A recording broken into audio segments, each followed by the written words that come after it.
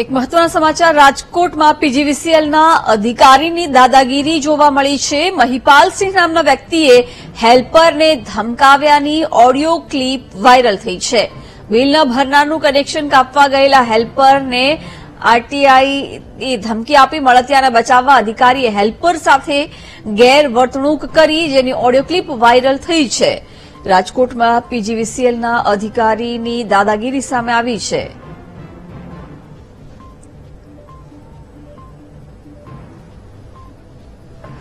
રાજકોટમાં પીજી પીજીવીસીએલના અધિકારીની દાદાગીરી સામે આવી છે. મહેપાલસિંહ નામના વ્યક્તિએ હેલ્પરને ધમકાવ્યાની ઓડિયો ક્લિપ વાયરલ થઈ છે. બિલ ન ભરવાનું કનેક્શન કાપવા ગયેલા હેલ્પરને આરટીઆઈએ ધમકી આપી, મળતિયાને બચાવવા અધિકારીએ હેલ્પર સાથે ગેરવર્તણૂક કરી હતી. પીજીવીસીએલના અધિકારીની દાદાગીરી અહીં જોવા મળી છે, જ્યાં મહિપાલસિંહ નામના વ્યક્તિએ હેલ્પરને ધમકી આપી હતી.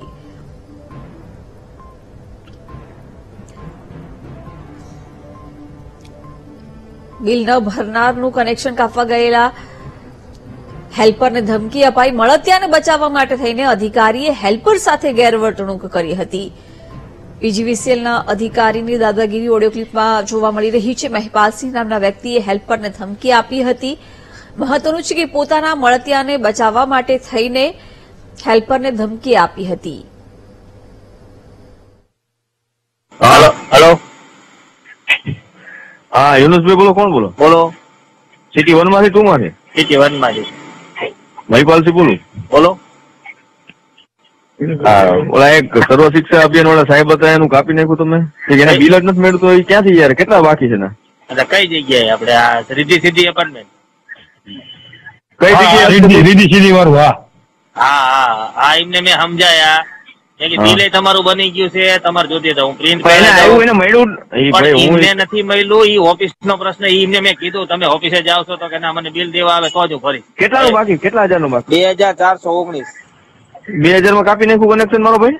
હા નવસો રૂપિયામાં આપેલા હે કઈ વાંધો નહીં ઈ ચાલુ કરી દેજો ને. ઈ ઓફિસ વાળા કરે હવે. એમને મેં પેલા હું ડિવિઝનમાંથી બોલું છું. ઓળખો મને? ના.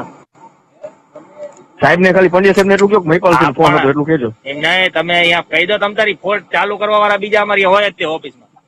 હું તમે લગાડજો શું વાંધો? અમે હું વડનગર છું. યુનુસભાઈ હા બોલો. તમે કાપ્યું નાખ્યું હતું આરટીઆઈ કરું હું તમે હે ને આ કેટલા બાકી એની કેટલા કાપી નાખ્યા છે લગીનમાં? હા હા વાંધો નહીં કરતો દો તમ તારો. બરોબર ને? એ ભલે ભલે. મારું બાકી છે એમને મારું નથી કાપ્યું તમે. મારું કાપી જાવ આવી? કયું? મારું અક્ષયભાઈ ધાડવી મારા ત્રણ બાકી છે.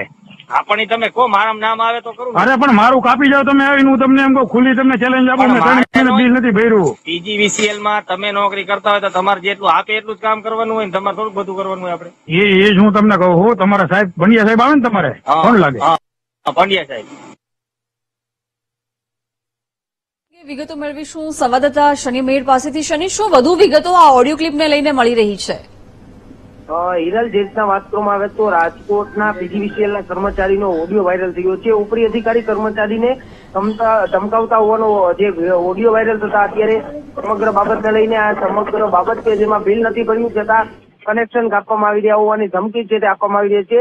સામાન્ય માણસ એક બિલ ન ભરે ત્યાં ગંભીર કાર્યવાહી પીજીવીસીએલની કરવામાં આવી છે. આ લાલિયાવાડી સામે આવતા જ ઓડિયો વાયરલ થયો છે. ખુદ પીજીવીસીએલ નો કર્મચારી હેલ્પરને જો કનેક્શન કાપવાનું જે આરટીઆઈ ની ધમકી આપતો હોય તો આ જે અધિકારીઓ છે તે કઈ બાબતનું ધ્યાન રાખશે તે પણ જોવાનું રહેશે. કારણ કે આવી રીતે ઓડિયો વાયરલ થતા અત્યારે આ ઓડિયો ક્યાંનો છે સમગ્ર બાબતને લઈને તપાસ થવી જોઈએ અને કોનું લાઇટ બિલ કનેક્શન કાપવામાં આવ્યું છે અને ધમકી બાબતે શું કાર્ય કરવામાં આવશે તે પણ જોવાનું રહેશે. જી હિરલ બિલકુલ. શનિ, ઓડિયો ક્લિપને લઈને બીજી કોઈ વિગતો અધિકારી કોણ છે, કયા ગામની, અથવા કયા તાલુકાની આ વાત થઈ રહી છે, એ કઈ જાણવા મળ્યું છે? રાજકોટ જિલ્લાની વાત હોવાનું અત્યારે ચર્ચાઈ રહ્યું છે. પીજીવીસીએલના રાજકોટ જિલ્લાના આસપાસના વિસ્તારનો હોવાનો ઓડિયો છે તે ચર્ચાઈ રહ્યું છે. પરંતુ હવે સમગ્ર બાબતને લઈને ઉચ્ચ અધિકારીઓ તપાસ કર્યા બાદ આ સમગ્ર બાબત છે તે સામે આવી શકે છે ને શું મેટર છે, શું આખી ફરિયાદ છે તેના આધારે ઉચ્ચ અધિકારીઓ હવે આ મામલે માર્ગદર્શન મેળવશે કારણ કે આજ જવાથી આ ઓડિયો વાયરલ થયા બાદ અધિકારીઓ આજે આ જે સમગ્ર બાબતને લઈને તપાસ છે તે હાથ ધરી રહ્યા છે. જી. બિલકુલ શનિ આભાર. જાણકારી આપવા બદલ તો હેલ્પરને ધમકાવવામાં આવ્યો છે, જેની ઓડિયો ક્લિપ અત્યારે સામે આવી છે, પરંતુ તપાસ એ દિશામાં શરૂ કરવામાં આવી છે કે આ ઓડિયો ક્લિપ રાજકોટ જિલ્લાની હોવાની તો સામે આવ્યું છે, કયા વિસ્તારની છે, અધિકારી કોણ છે, એને લઈને પણ તપાસ થઈ રહી છે, કાર્યવાહીની શરૂઆત કરવામાં આવી છે.